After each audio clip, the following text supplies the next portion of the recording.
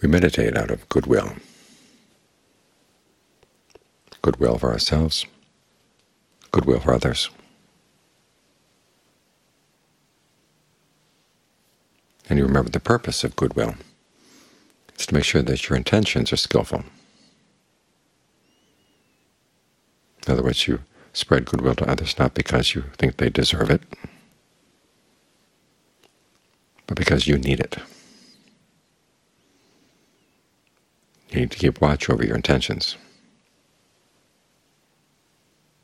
And if you have, if there are people out there for whom you feel ill will, it's very easy to act in very unskillful ways, and that becomes your own karma. You've harmed them, you've harmed yourself. Nothing good comes of it. But if you can have goodwill for others, everybody, regardless, whether you like them or not, then you can trust your actions more.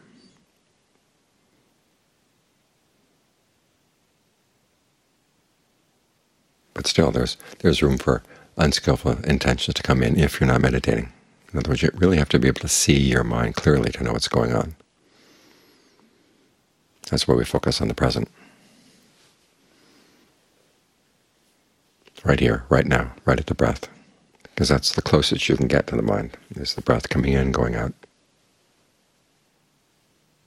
And standing right here, you can see events going on in the body, and you also can see events going on in the mind.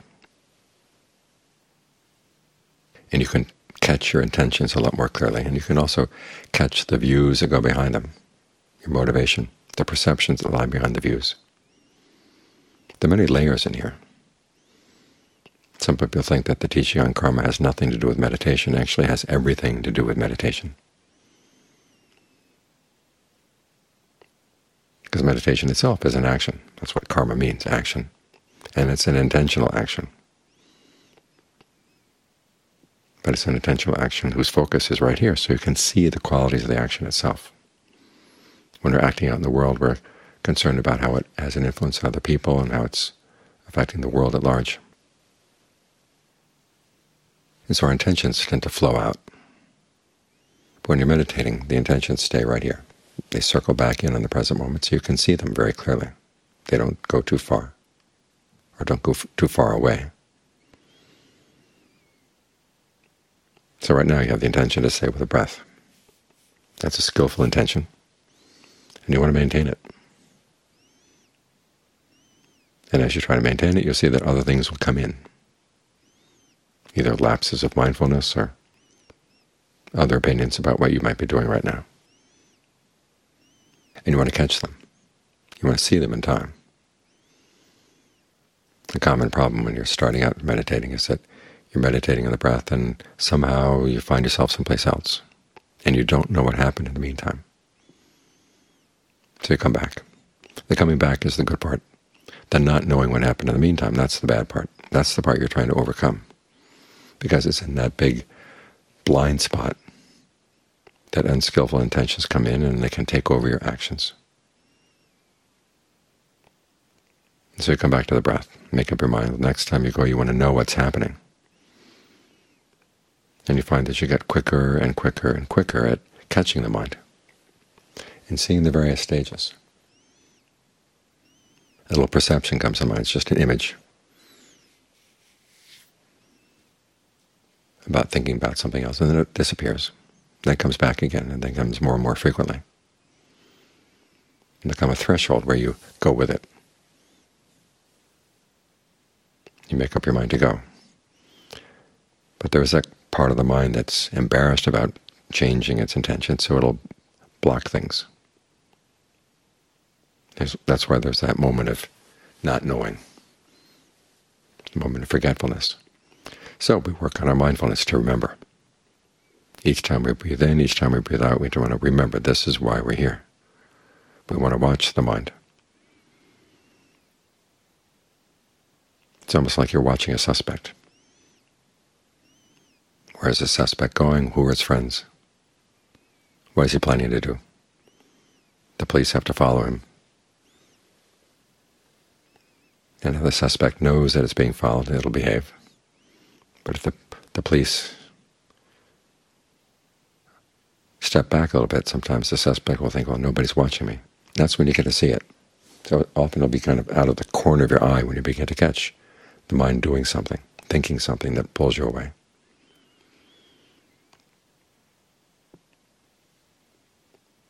So bit by bit you begin to see how much you are fashioning the present moment through your intentions. It's not totally random and unexpected. I mean, there is a kind of randomness to our ideas, but there's also an element to which we're shaping things. You see this in the way we look at the world. They talk about how much the, the brain has to adjust for the scattered images coming in through the eyes, sounds coming in through the ears, and trying to interpret it, make sense out of it, until everything seems seamless. Well, even more so in the mind. We try to make sense about what's going on in the mind. Even though the mind is, is pretty senseless about a lot of things. But our way of making sense out of it sometimes means that we turn a blind eye to certain things that are going on. When you're meditating, you've got to make sure that that eye is not blind, that you actually see what's going on in the mind, the discontinu discontinuities, the random shifts, and the element of intention that goes behind all this. That's the karma right now. The Buddha calls it sankhara in other places. He equates sankhara with intention and intention with karma. They're all the, pretty much the same thing. It's how you shape things in the present moment. And if we notice that the way we're shaping things is causing suffering, you want to turn around and look at that. You want to see what's going on. What are you missing? Where is the ignorance in here? To see that, you have to get very, very quiet and be very patient.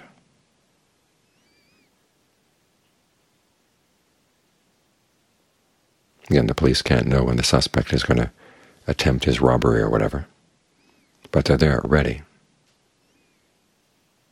They figured, okay, this is the suspect, you've got to watch it. So they're much better prepared to catch him when it finally happens, but they have to be patient in the meantime. The suspect may take weeks and weeks and weeks to make up his mind, to finish his plans. And the same here, the insights that come in, into the mind when you see things happening that you didn't see before. You can't determine ahead of time that's going to take one hour or two hours or this many days or that many days. So you have to learn how to be right here. And as the policemen are watching the suspect, they have to make sure that they're comfortable. Not too comfortable. If they're too comfortable, they fall asleep, but comfortable enough. So you work with the breath. So you have a sense of ease in the body that spreads around.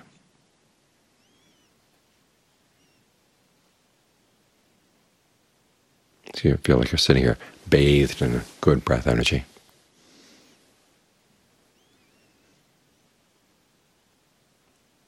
Some people wonder about spreading the breath. I had a question tonight from someone on the phone.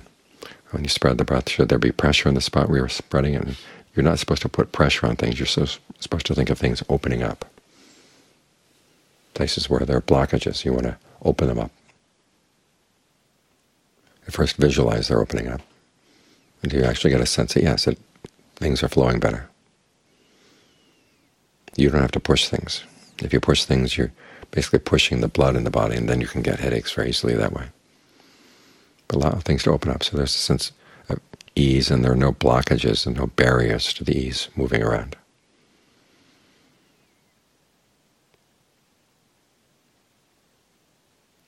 That helps to minimize the sense of tedium that can sometimes come. When you're just sitting here watching the breath, waiting for something to happen, and it's not yet happening. Just have to have confidence you're in the right spot. You know the suspect. It's what's the mind. What is the mind doing? What is it saying to itself? That's a big factor right there. And what are the perceptions behind what it's saying to itself? Where are they coming from? You want to catch those.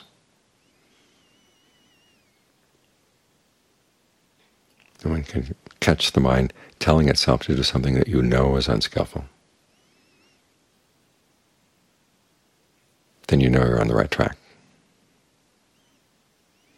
Here again, the sense of ease that comes with meditation makes it easier to see the mind when it's misbehaving like that. But you're here not to punish it, you're here to train it.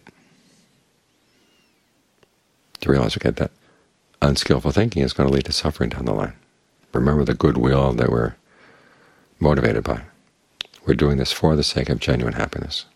It takes work, takes time, takes patience. But all of that is an expression of your goodwill.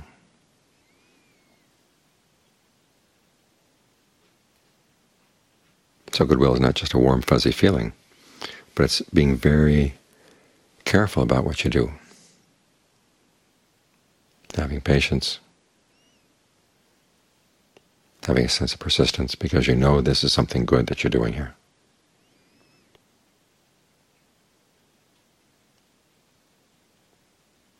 When the texts talk about the three qualities of the Buddha, there's wisdom, compassion, purity.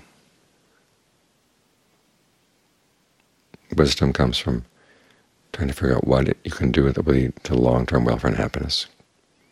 And compassion motivates that. But then there's the purity. And the way purity is developed is you look at what you're doing, figure out what's going wrong, and then you adjust it. That's the process by which you check. Are your intentions only good, or are they also skillful? The skillful ones give good results, and that's what we're looking for. You learn by trial and error. You learn by doing it again and again and again. To minimize the errors.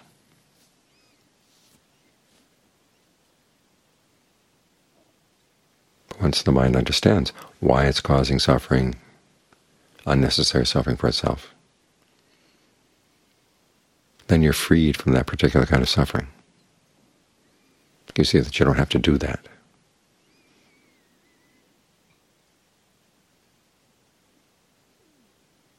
So we have the chant, may I be happy, may all beings be happy.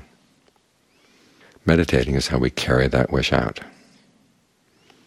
So it's effective both inside and out.